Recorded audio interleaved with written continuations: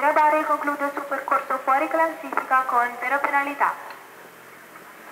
Partore il numero 41 di Testiera. In sella c'è Gianluca Palmizzi, Piera la J.